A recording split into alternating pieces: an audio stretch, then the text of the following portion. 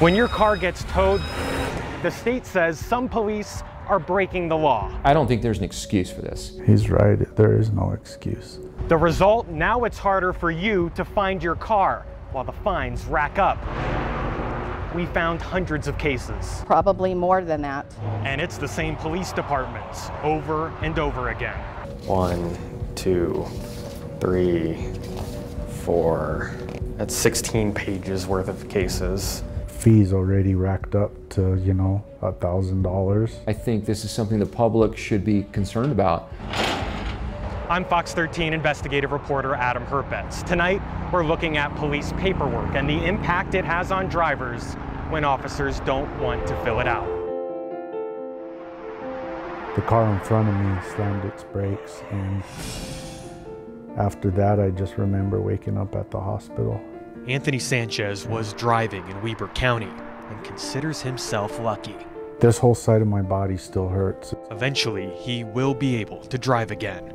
There's a bruise across my chest and then I have this on my chin. I have a broken nose, so my, my face is swollen. I think I hit the, the steering wheel, then the windshield. His story is like hundreds of others. The ambulance picked him up before the tow truck grabbed his car. He was just trying to stay alive, not worry about the bill. I didn't care about my car. I, I, I was worried about my kids.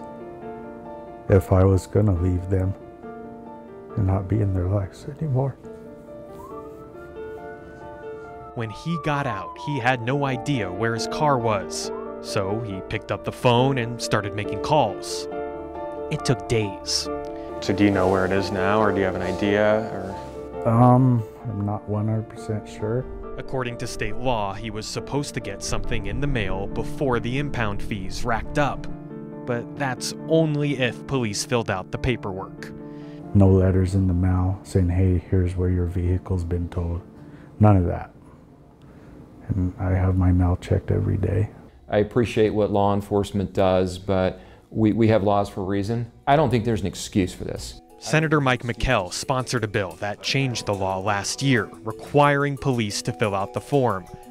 He says it was a no brainer. It's easy to fill out, it protects drivers, and most officers are doing it. This is every case so far. Okay? But when we showed him 573 complaints where the paperwork was not filled out, he got angry, especially because more than half of all cases are from the same three police departments. When I look at this list and, and when I see Salt Lake City has 110, West Valley City has its 124, I mean, that, that's pretty brazen. Ogden City, 61. Why do they think they're above following the law? According to the State Tax Commission, the actual number of cases is probably double or triple, but most don't know to report it. If you're ordering a vehicle to be taken to an impound lot, we don't really care the reason, we just need to know about it. Because ultimately, the person that suffers if you don't let us know about it is the owner of the vehicle. They're the ones who may end up having their car auctioned when because they can't find it.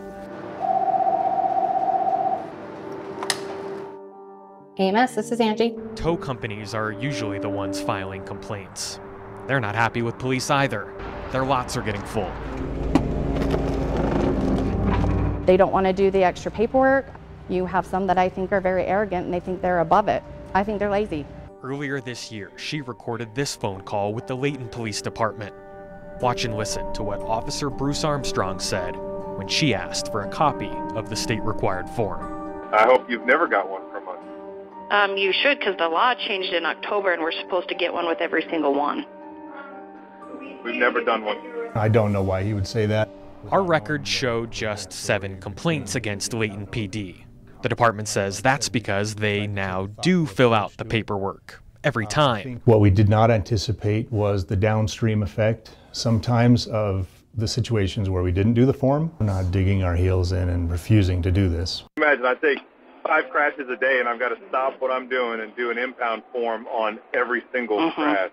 This is like bad. To respond to his question, do I want all five filled out? Yes. If there's a tow and law enforcement is involved, the- the form should be filled out every single time. That, that, that's the whole point. Senator McKell, the tow companies, and the state are all quick to point out the form is only half a page. I don't think it's that big of a deal to fill them out. We just need to know that the vehicle's been towed. So far, Ogden PD has not responded. Salt Lake City PD says it will review each case and that the state is not properly counting them. When we asked West Valley City for an explanation, a spokesperson for Chief Colleen Jacobs said just because the police call for a tow company doesn't necessarily make it a police requested tow. Why do they not want consumers to know where their car is? This is data that, that I'm going to take and I'm going to get some answers to. Everybody should know where their vehicle goes. There are some good officers out there, but majority of them that I've ran into, it just seems like they're out to get you.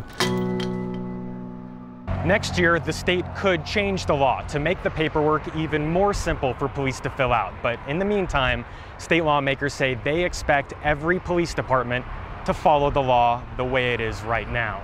If you'd like to see a full list of cases, it is on our website, fox13now.com. Reporting in West Valley, Adam Herbets, Fox 13 News, Utah.